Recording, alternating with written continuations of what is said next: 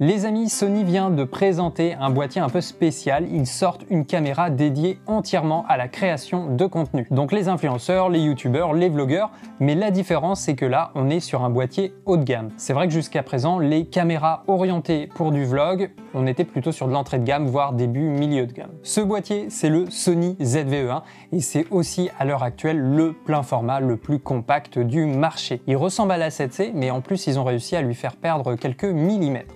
On a un boîtier totalement orienté pour la vidéo. On a un capteur plein format CMOS Xmore R rétroéclairé de 12,1 mégapixels. Donc c'est le même que celui de la FX3 et de la 7S3. On a plus de 15 stops de plage dynamique et il est aussi équipé du processeur Bion Z XR. Encore une fois, c'est celui de la FX3 et de la 7S3. Alors on va essayer de se le représenter parmi la gamme de boîtiers Sony. Comme ça, dès le début, vous l'aurez situé, ça sera beaucoup plus clair. Je me suis fait une échelle de référence entre entrée de gamme, milieu de gamme et haut de gamme. Le ZVE1, il se trouve là, à cheval entre le milieu de gamme et début haut de gamme. On verra son prix tout à l'heure, mais déjà, ça vous donne un indice. Ensuite, ce boîtier, il a repris l'ergonomie de l'A7C, qui est plutôt un boîtier milieu de gamme, donc c'est l'entrée de gamme du plein format chez Sony. Il reprend également un peu de l'ergonomie du ZV1F, ZVE10 et ZV1. Et il reprend surtout leurs options pour le vlog. Et enfin, il prend aussi des performances vidéo d'un A7S3, d'une FX3, qui est plutôt le haut de gamme de chez Sony. Donc voilà pour le placement de ce boîtier parmi les différentes gammes de chez Sony. Je pense que c'est plus clair comme ça. Alors ensuite, ce ZVE1, il fait pas que reprendre des options déjà existantes, mais il y a quand même quelques nouveautés, notamment autour de l'intelligence artificielle. Il reprend la détection améliorée des sujets de l'A7R5 basée sur l'intelligence artificielle. Il est capable de détecter la position du corps de l'humain. Ça lui permet d'anticiper ses mouvements. Alors voilà, on commence les exemples d'autofocus. Je suis avec le ZVE1 au 35 mm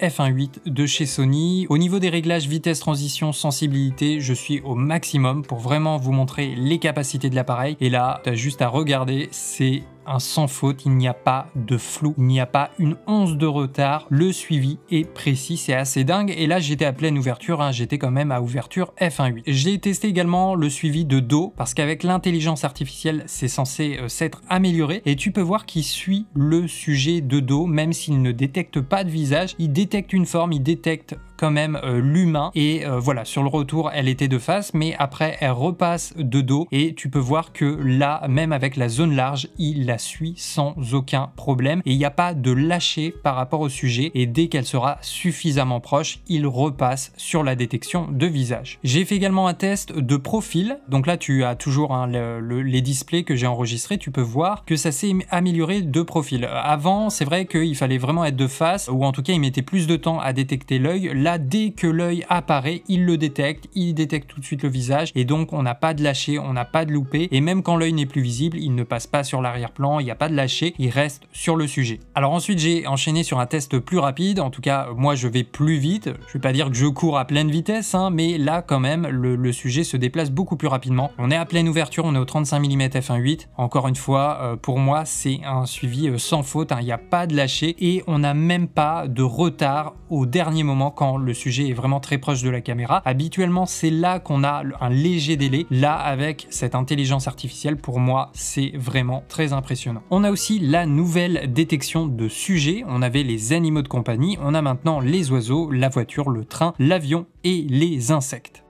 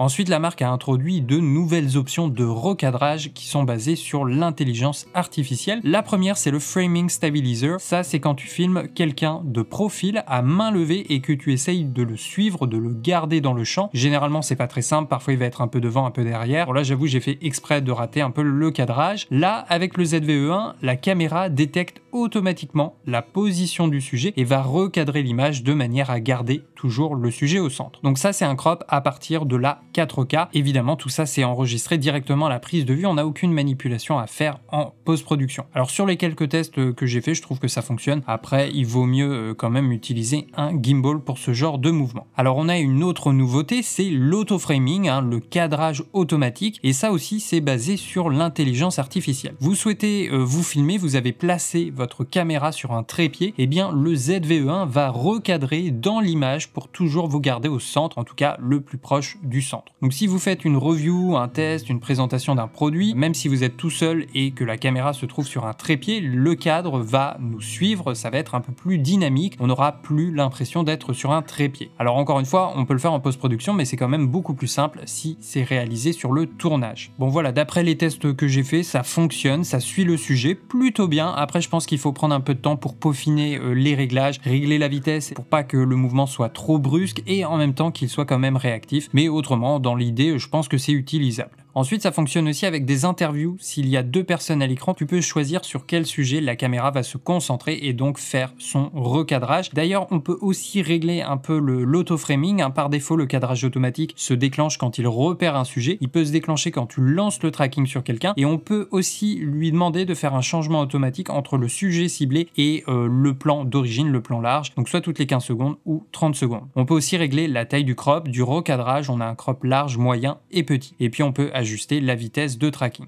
D'ailleurs, le tracking peut être également contrôlé via leur application. Alors, lors de la présentation, la marque nous a donné comme astuce, il est possible d'enregistrer à la fois sur le boîtier avec l'option autocadrage, mais aussi via HDMI sur un moniteur externe. Et là, on aura la possibilité d'enregistrer sans le recadrage, donc ça laisse plus d'options pour le montage. Ensuite, on retrouve des options de vlog qu'on a déjà sur la série ZV. Donc, il y a le défocus. En appuyant sur un bouton, la caméra va changer l'ouverture pour avoir un flou d'arrière-plan plus prononcé ou inversement elle va fermer le diaph pour avoir une zone de netteté plus importante. On a également la présentation de produit, la caméra ne détectera plus votre visage mais directement le produit présenté à l'écran. Couplé avec un bon autofocus, c'est assez pratique pour les présentations de produits. Alors il y a une nouvelle option, c'est la reconnaissance de plusieurs visages. Si la caméra détecte une deuxième personne qui rentre dans le champ et qui est clairement identifiable, la caméra va automatiquement agrandir la plage de netteté en fermant l'ouverture de manière à ce que tout le monde soit bien net à l'écran. Ensuite, au niveau de la stabilisation, là on a de la nouveauté. On a par défaut un capteur stabilisé. Ensuite, on a l'active mode. Donc celui-là, il existe déjà. Ils l'ont un peu amélioré, un peu optimisé. Et désormais, on a aussi un deuxième mode, c'est le dynamique active mode. Donc en fait, on a la stabilisation 5 axes plus une stabilisation électronique. Donc on va plutôt euh, l'utiliser sur des longs mouvements à main levée. Alors j'ai fait un premier test là de suivi. Euh, on marche relativement rapidement. On court pas mais euh, c'est une marche rapide. On est avec la stabilisation active, je suis au 16-35 mm f4 avec le ZVE1 et euh, là pour info je filme en S-Log 3. Donc déjà tu peux voir qu'elle est quand même pas mal. Hein. Là je suis vraiment à main levée, en plus euh, on n'a pas un terrain très très plat, hein. il y a des petites bottes de terre. Et puis ensuite même mouvement je passe sur la stabilisation dynamique et là bah tu vois c'est quand même très très fluide. Si on regarde les bords, il y a peut-être des micro saccades mais le mouvement est bien fluide au centre, c'est stable et on a presque l'impression d'être sur un suivi euh, de gimbal. Donc euh, là, je dois avouer que c'est quand même très très impressionnant. Alors on a un recadrage supplémentaire, mais si on utilise une corde focale, il n'y a pas de souci. Et là, tu peux voir que ce mouvement a été fait à main levée. Et là, j'utilise même pas de poignée ou de grippe, hein. c'est vraiment du main levée, un petit peu de bricoleur quoi. J'ai refait ensuite euh, un autre exemple de, test pour la stabilisation, stabilisation dynamique CS35, je le tiens à la main. Alors là au début, il y a quand même quelques à quelques saccades, mais là je pense c'est moi qui tiens vraiment mal la caméra. Après, ça paraît quand même beaucoup plus stable. Et là, je, marche normalement, il n'y a pas du tout de, de ninja walk, mais dans l'ensemble, c'est quand même très très stable et donc ça va être vraiment adapté pour du vlog. Bon les amis, je vous fais un exemple déjà d'enregistrement audio, c'est un exemple aussi de, config de vlog. Donc là, je me filme évidemment avec le ZV-E1 à bout de bras, j'utilise la petite poignée gris. Je suis sur le 1635 mm f4 série G, qui est sorti il n'y a pas si longtemps que ça, il y a peut-être deux ans maintenant. Et il y a donc, euh, là je suis à f4, je suis à la plus, euh, à la plus large focale, au 16 mm. Alors là j'ai oublié mon filtre, donc j'ai dû augmenter euh, la vitesse pour compenser un peu l'exposition. Et je me filme en S-Log 3, Là, je marche tranquillement et j'ai pas activé la stabilisation dynamique, je suis juste sur la stabilisation euh, active. Je vais repartir un peu dans l'autre sens. Et donc voilà, un exemple d'enregistrement type vlog. Alors 16 mm, vous voyez, c'est pas mal. Hein. Il faut quand même une très courte focale, même avec un plein format, parce que là, avec la stabilisation active, on a quand même un crop euh, assez important dans l'image. Alors je vous refais encore un autre exemple, toujours un petit peu dans la même config. Là j'ai changé deux trois choses. Je suis pas donc il n'y a pas d'étalonnage. Je suis euh, directement avec le profil euh, par défaut, voilà. Euh, et je suis sur le mode intelligent. Donc là, c'est lui qui gère vraiment tous les paramètres. Alors là, je peux regarder qu'il m'a mis F11, il est à 100 au niveau du shutter. Donc voilà, c'est lui qui choisit un petit peu tout. Et là, par contre, je suis passé sur le mode dynamique au niveau de la stabilisation. Donc en principe, Là, alors là, je marche pas très bien, j'étais pas très stable, mais c'est censé être beaucoup plus stable. Petit changement de main, c'est un peu mieux que tout à l'heure, voilà. Et donc là, je suis euh, vraiment euh, au 16 mm et je suis en train de me cadrer avec le ZVE1. Alors je vous fais juste une petite comparaison au niveau des crops de la stabilisation. Là je suis en mode juste stabilisation mécanique, il n'y a pas la stabilisation active et je suis au 16 mm. Là je viens de passer sur la stabilisation active, donc il y a un petit crop, je ne connais pas exactement le pourcentage mais vous avez le plan d'avant donc vous pouvez comme ça comparer. Et puis là enfin on est sur la stabilisation dynamique, en principe voilà ça devrait pas trembler, on a un cadre à peu près euh, bien, bien stable.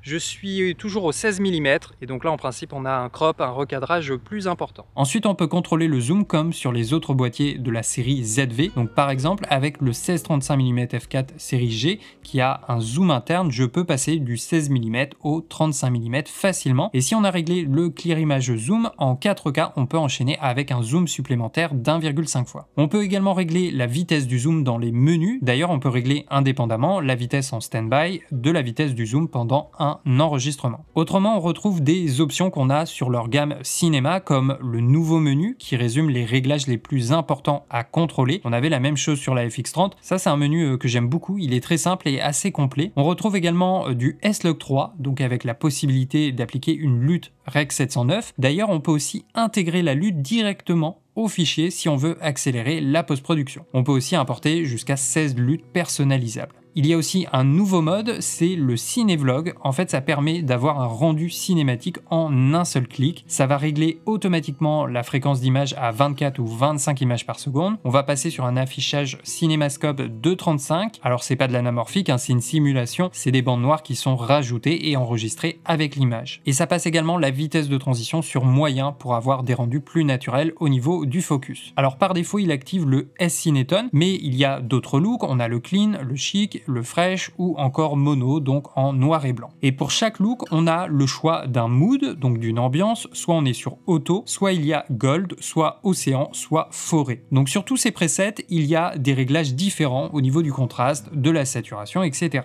Alors au niveau des performances vidéo, on a du 10 bits 422 en all intra, on a de la 4K 50 images sans crop, et sachez-le, il y aura également de la 4K 120 images par seconde, ainsi que du Full HD à 240 images par seconde. Ça sera disponible en juin 2023 dans un firmware et ce firmware sera gratuit. Donc je le redis, au niveau des performances, il n'y a quasiment pas de compromis. Ensuite, on retrouve une option de compensation du focus breathing. On a également le focus map pour ceux qui aiment l'utiliser, ainsi que l'AF assist. Donc tout ça, c'est présent sur le ZVE1. Alors au niveau de l'audio, on retrouve un microphone à trois capsules. Il a été amélioré. La marque parle d'un micro intelligent en fait, il est possible de choisir la directivité du micro. Donc on a un réglage sur l'avant, un réglage sur l'arrière et dans toutes les directions. Et il y a même un mode automatique qui va sélectionner la meilleure directivité en fonction de la provenance de la voix qu'il perçoit. Le boîtier est livré avec une bonnette anti-vent. Les amis, je vous teste les capsules micro intégrées du ZV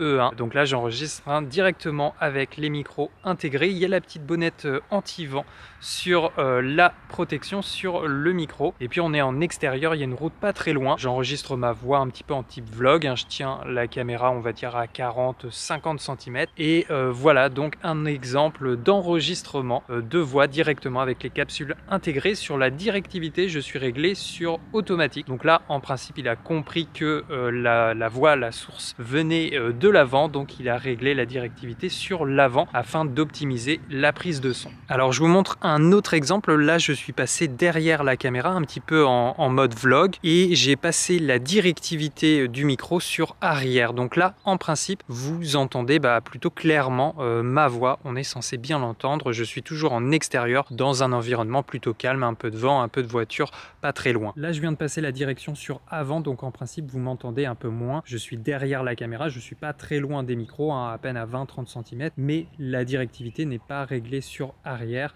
Donc là, il faudra pas se tromper. Cette fois-ci, je suis passé sur toute direction. Donc là, en principe, vous m'entendez clairement quand je parle face à la caméra. Mais si je suis derrière, voilà, là, je repasse en mode vlog, et eh bien, vous êtes censé m'entendre également sans problème. Je repasse devant la caméra. Là, il n'y a pas de souci. J'ai réglé la directivité sur toute direction. Je vous refais un dernier exemple d'enregistrement audio en intérieur dans un endroit euh, contrôlé où il n'y a pas trop de pollution sonore. J'ai enlevé également la bonnette anti-vent. Là, je tiens la caméra à bout de bras. Je suis à peu près à 30-40 cm du boîtier et j'enregistre donc ma voix avec les micros intégrés du ZV-E1.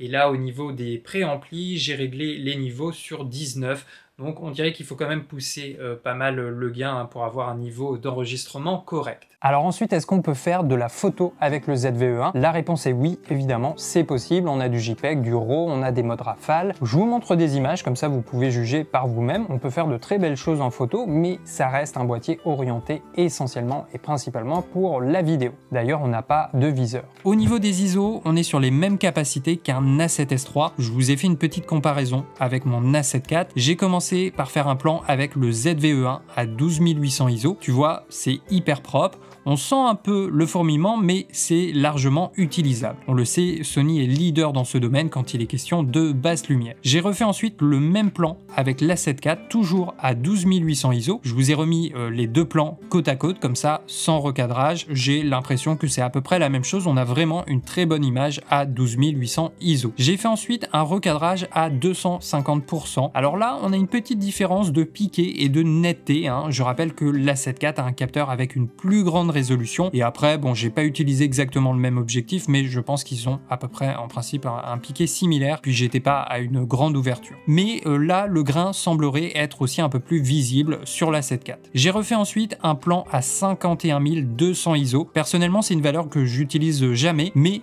j'ai voulu euh, la tester, j'avais l'impression que sur le petit écran ça rendait bien et bah voilà, les résultats sont là. Hein. Faut avouer que la qualité d'image qu'on a à une telle valeur d'ISO, c'est quand même très très impressionnant. Alors est-ce que le ZVE1 a un double ISO natif? J'ai fait un premier test, je commence à 10 000 ISO et puis je passe à 12 800. Là, je pense pas qu'il y a de doute, on a bien une réduction de bruit assez importante à 12 800 ISO, donc il faut bien éviter la plage de 6400 à 10 000 ISO et passer directement à 12 800 ISO. J'ai refait la comparaison avec le capuchon, comme ça on peut se concentrer sur le grain. Là on voit bien qu'à 6400, puis 8000 et 10 000 ISO, eh bien ça fourmille beaucoup, mais dès qu'on passe à 12800, l'image redevient beaucoup plus propre. Alors au niveau de l'ergonomie, chose à noter, c'est le boîtier plein format le plus petit, le plus compact du marché à ce jour. Ils ont réussi à gagner quelques millimètres hein, par rapport à l'A7C. On est sur un poids de 480 grammes à nu avec batterie et carte. Je vous montre une comparaison au niveau du poids. Donc ça c'est le boîtier à nu. L'A7C il est à 508 grammes et l'A7 IV il est à 666 grammes. Je vous donne aussi en exemple le poids de différents setups. Donc on a le ZV1 plus le 1635 F4G. On est à 858 grammes. Avec le 2470 F4, on est à 992 grammes. Avec le 1635 plus la poignée grip, on est à 1070 et 2470 plus la poignée grip, on est à 1200 grammes. Tout ça avec batterie et carte. Donc on peut le voir, hein, on est sur des setups quand même relativement légers, hein, très pratiques pour du vlog. Alors physiquement, il ressemble à l'A7C, mais on peut noter quelques différences. Déjà, on n'a pas de viseur sur le ZVE1. Hein. Le bouton euh, menu, il s'est déplacé sur la droite. On a désormais un switch pour passer du mode photo à vidéo au SNQ. Sur le ZVE10 et le ZV1F, on doit appuyer sur un bouton pour faire le changement. On retrouve la commande de zoom qu'on a déjà avec la série ZV mais pas avec la 7C et on retrouve également un Tolly, le petit témoin lumineux d'enregistrement sur l'épaule gauche. Au niveau de la batterie, c'est la même chose, c'est la NPZ 100. Au niveau de la carte mémoire, on a un seul emplacement pour carte SD, hein. il n'y a pas de CF Express. Ensuite, on note un port micro jack, une prise USB-C. On va pouvoir recharger l'appareil et l'alimenter via l'USB-C. Donc ça, c'est intéressant pour du live, du streaming. Alors par contre, on a juste du micro HDMI, c'est dommage, hein, et en même temps, j'imagine qu'ils n'avaient pas trop le choix s'ils veulent garder un boîtier compact. Et puis enfin, on a une prise casque. Alors on peut noter qu'il n'y a pas de joystick pour contrôler l'autofocus. Alors maintenant, la question c'est est-ce que ce boîtier est parfait? C'est quoi le deal?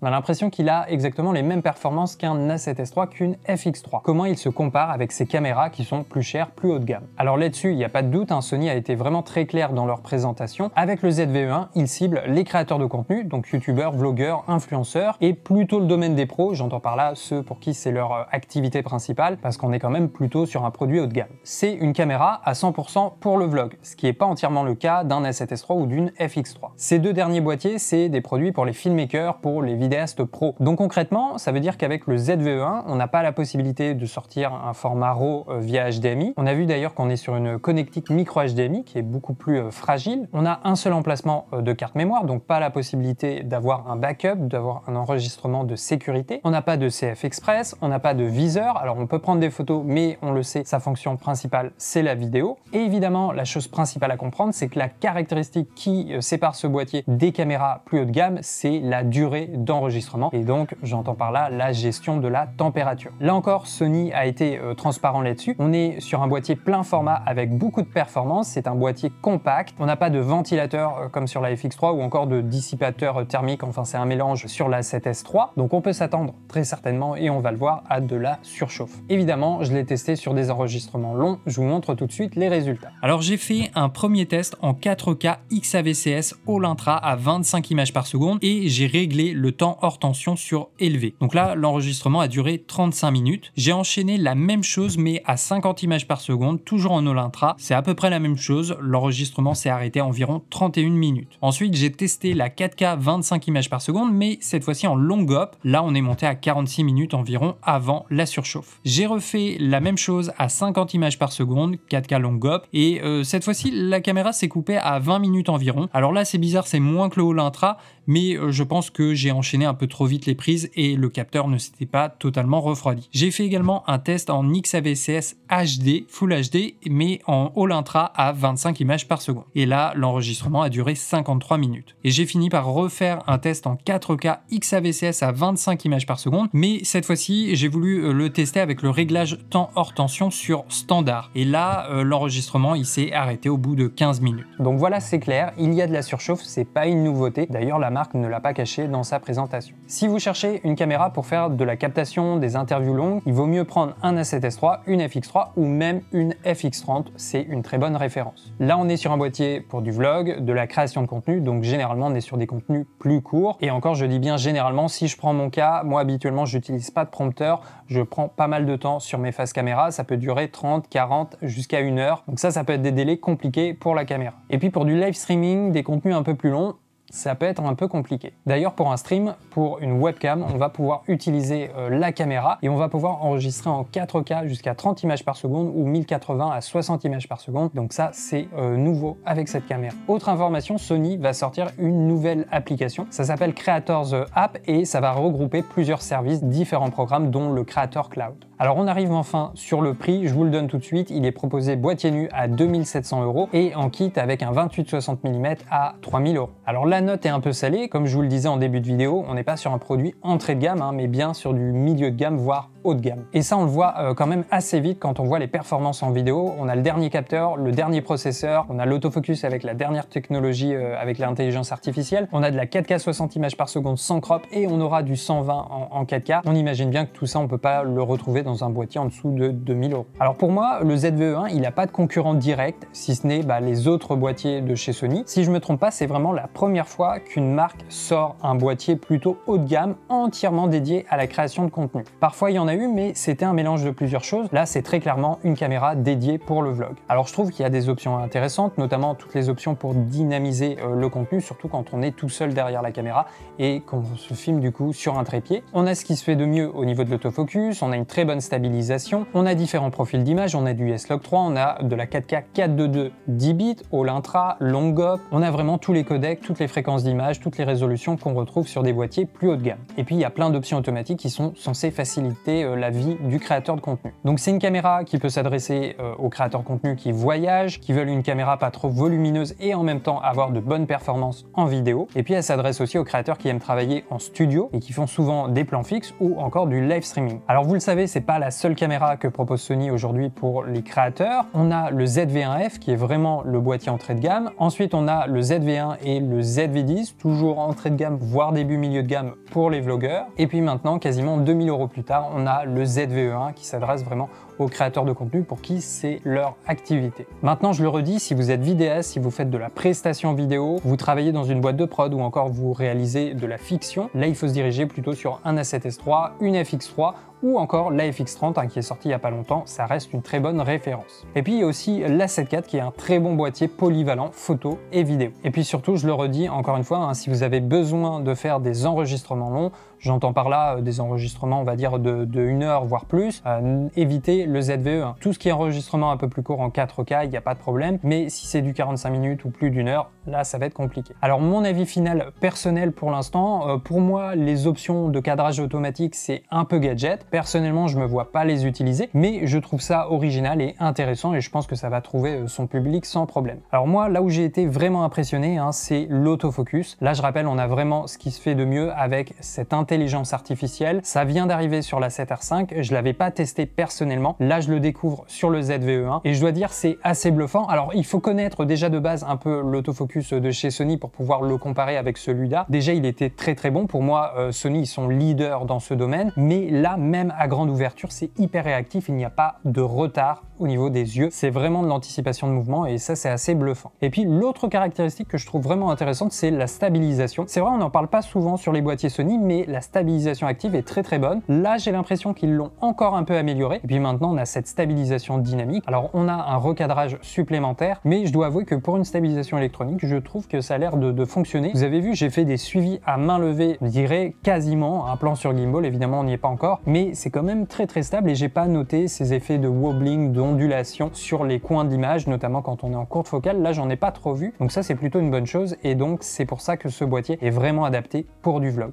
Évidemment, je vous parle pas des ISO, la gestion des basses lumières est vraiment très très bonne et c'est la meilleure du marché. Elle se trouve chez Sony. Donc voilà, vous l'avez compris, on a un boîtier avec très peu de compromis au niveau des performances vidéo. Voilà les amis pour cette review, j'espère que ça vous a plu. Je vous invite à me donner votre retour dans les commentaires, qu'est-ce que vous pensez de ce boîtier? Toutes ces nouvelles options de, cadrage, qu'est-ce que vous en pensez? Pareil pour les performances, vous avez vu l'autofocus, la stabilisation, les ISO, c'est assez impressionnant. Voilà, n'hésitez pas à vous exprimer dans les commentaires, ça sert à ça. En attendant, je vous ai mis les liens en description si ce produit vous intéresse. C'était Benjamin avec Derrière la caméra. On se dit à tout de suite pour une prochaine vidéo.